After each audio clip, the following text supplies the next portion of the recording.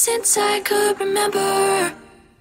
That told me I had to be within the lines of two degrees and nine to five. And I've been working after work since last September. Working after work, yeah. I stay up late on the weekdays. I never tell when we say. I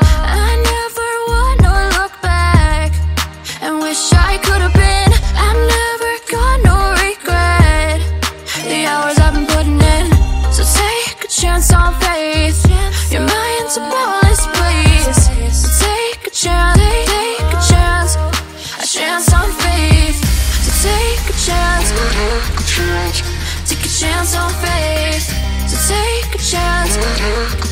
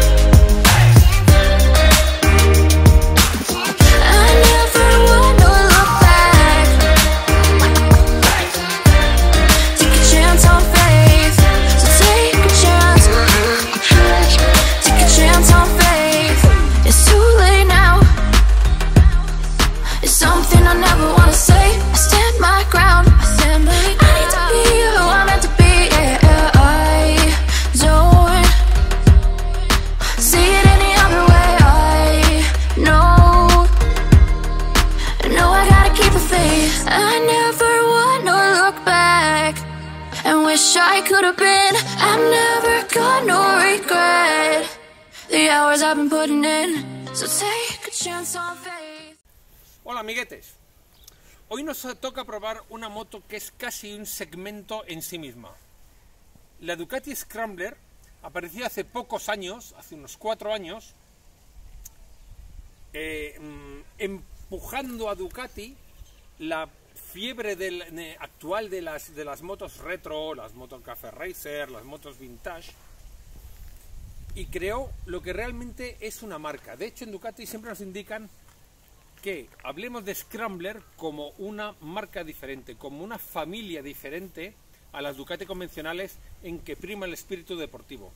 En cambio, con las Scrambler han logrado retomar el espíritu de las antiguas Ducati Road, las antiguas Ducati Scrambler de los 70, para lograr una moto manejable con estilo y con tecnología. Eh, por supuesto, con una misma base han creado toda una familia de modelos diferentes. Y la que podemos probar ahora es la Full Throttle. ¿En qué se diferencia esta respecto a las demás? Como todas, llevan el clásico motor de aire en L a 90 grados, bicilíndrico, con, con 803 centímetros cúbicos y 75 caballos. Por supuesto, mantiene su faro delantero redondo y clásico, sus líneas y estos colores que son realmente, refe- eh, realmente significativos para Ducati, el amarillo y el negro. Tanto es así que hace poco vi una, una Ducati Scrambler moderna con una antigua y de lejos no la distinguía. Es curioso y admirable lo que ha logrado Ducati al respecto. No obstante, este año tiene muchos más detalles técnicos. Por ejemplo, tiene indicador de marcha en el, en el cuadro, tiene plataforma IMU, con lo cual también tiene ABS en curva y mantiene esa agilidad fantástica eh, mezclado con una respuesta de motor admirable y muy divertida. Por ejemplo, delante tiene una, un- una goma, un neumático de 110 milímetros de ancho, mientras que detrás lo tiene de 180. Y delante de 19 pulgadas, como eran las motos de entonces. Y también equipa unos neumáticos semi-trail, que más eh, bien sería decir semi-scrambler, que valen para tocar el campo, pero para tocarlo, pero realmente es una moto que va perfectamente para un uso diario, para un uso urbano y para disfrutar de ella en cualquier tipo de carretera. Así que nada, vamos a probarla. Dentro de poco podrás leer toda la prueba en motoradn.com. Ahora sí. El, el problema de probar motos en cualquier hora y cualquier día y cualquier momento del año es que te puedes encontrar con los pastores de Belén que en Navidades vienen a por nosotros. Y aquí están. Mira, Aquí están. otra cosa. Oh, nos vamos a hacer unos jerseys de goretés con lana de oveja, que están aquí, ¿eh? Una chuletilla, depende un poco lo que se tercie. Hola, ¿qué pasa, tío? Uy, si es un montón. un montón todo. Ahí va, tú sí que eres el perro. Tú eres el perro, el perro del coyote. El perro del coyote. Cabritillo, cabronas, no sé qué llamaros. Hola. Hola. Venga, venga, juega con las cabritas.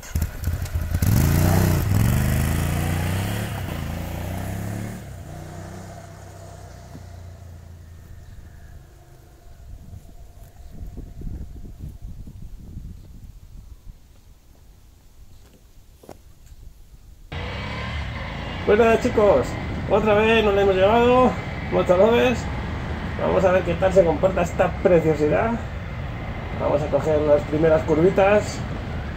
A ver, tal entra. Esta llantita de 18 delantera con un 110, la verdad que, wow, muy bien, muy bien. Me gusta, me gusta cómo, cómo toman las curvas, estos neumáticos mixtos para este asfalto roto. La verdad que es una pasada. Vamos a, vamos a probar en carretera a ver qué es su comportamiento. Son un poquito más de 183 kilos, me parece que son 186, más o menos por ahí andará. Lo que no es muy pesada. Y, bueno, ¿por qué deciros? Porque subo el típico bicilíndrico Ducati NL, que es una maravilla. Eso sí, mucho más refinado que otros que, que habíamos probado anteriormente. Y bueno, vamos a darle un poquito a Manolo. Ahí vamos.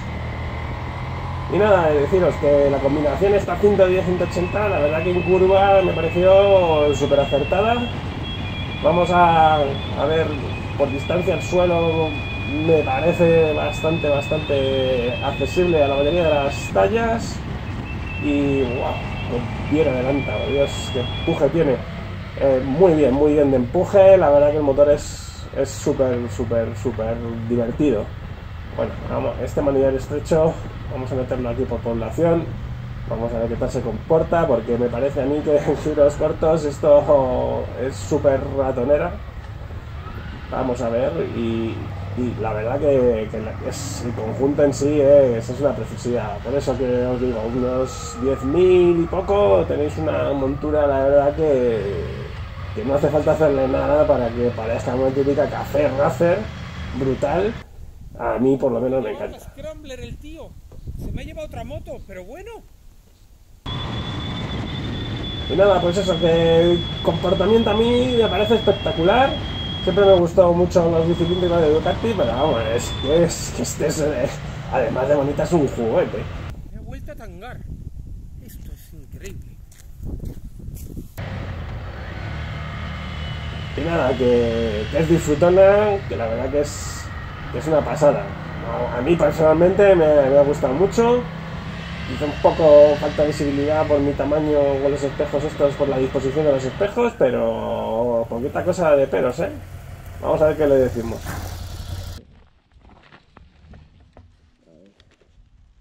Macho, ¿tienes una manía de comprar motos que se arrancan solas? Que yo no lo entiendo, ¿eh? Lo que, o sea, te, voy a lo que te voy a arrancar es la cabeza. Bueno, ¿qué te ha parecido? ¿Divertida?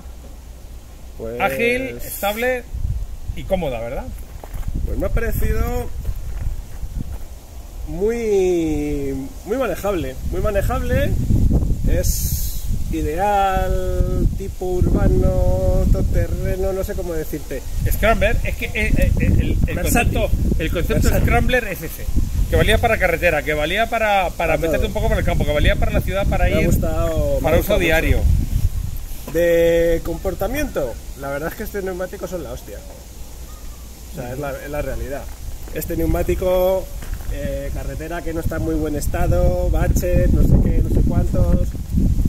Me ha gustado. El 10, la llanta de 18 adelante uh -huh. parece que te ayuda a entrar ahí en curva bien, ¿sabes? Uh -huh. o sea, tiene sus cositas muy buenas. Empuja, eh, empuja muy bien, ¿sabes? Sí. Al ser bicilíndrica empuja muy bien.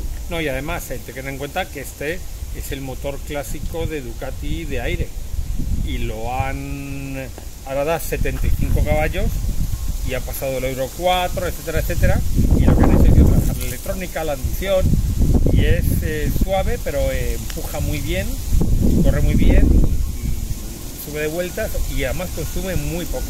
Sí, sube de vueltas que, que da gusto, ¿eh? Sí. Es una pasada. Y empuja, con- que- porque claro, dice 75 caballos y, Claro. y dicho hoy día parece que es poca cosa. Es, un juguetito. Muy divertida, muy divertida y muy manejable. Y además la información que te da, lo que notas es también las nuevas, por ejemplo, detalles tan tontos como un buen indicador de gasolina o un indicador de marchas, que son pequeños detalles que a mí me parecen casi necesarios. Yo quisiera que hubiera un, la opción de tener un asiento un poco más alto, pero lo hay más bajo que para este modelo. Bueno, a mí de altura me parece que está destinada a un público de estatura media-baja, ¿vale? Yo que soy un poco más alto, eh, no me gusta tanto la postura de conducción para el concepto que es, ¿vale? Porque es una moto que parece que es como muy de Big Track, ¿no? O sea, así, y sin embargo, comparación muy alto, no, es una moto idónea para dos, para gente que empieza, mm, fácil de entrar en curva. Hay que tener en cuenta, hay que tener en cuenta también, claro, está homologada, tiene su kit para el A2. O sea, con el carnet nuevecito te puedes, puedes disfrutarla. Sí. Y es muy manejable, además que está muy pensado para el mercado que empieza, para todo el mercado femenino que está entrando en el mundo de la moto. Bueno, resumiendo, a mí. Bueno, ¿qué te ha gustado a ti? Venga. A mí me gusta el estilo. Tener una Ducati Scrambler es siempre un toque de distinción, como decía la película, y es, eh, es, eh, te sientes elegante encima de ella. Después el tacto del motor. Parece mentira que con un motor tan clásico y a base de trabajarlo mucho, los chicos de Ducati han logrado que tenga este tacto a la vez mm, eh, usable para un entorno urbano, un entorno tranquilo, pero que te lo puedas pasar bien en curva. Y después eh, la parte ciclo en general ya no solamente es una moto retro y vintage o como quieras llamarla, sino que va bien. Entra en curva, sale en curva y es una moto divertida. Yo también, vamos, estoy de acuerdo totalmente que, que es muy divertida en curva y que va muy bien. Y además te digo que para ciudad el, el ángulo de giro que tiene es súper adecuado para moverse entre el tráfico como, como nadie. Y pasarlo bien. Cosas Y- que no me han gustado, pues la mordida del freno delantero me ha parecido muy esponjosa y muy escasa, para mi gusto. El amortiguador trasero quizá un poco duro, ¿vale? Y luego para, imagino que según la estatura, yo como soy un poco más anchote y más grande, yo creo que la visibilidad de los espejos es algo mejorable. Pero por lo demás es una pasada, está muy bien. Y un buen detalle. Que los que nuestros oyentes y nuestros visitantes y nuestros espectadores vayan a un concesionario e intenten encontrar la cerradura del asiento. Que es todo un concurso. Si ves un concesionario Ducati y dices, ¿qué me dais si encuentro la cerradura del asiento de una Ducati Scrambler Full Throttle? ¿Qué me dais? Que os den un jamón, ¿eh? Que lo sepáis. Bueno, pues nada, aquí, aquí estamos. El... Dentro de poco podrás leer la prueba completa con nuestras dos opiniones en motoradn.com. Hasta luego, motolovers. Hasta luego.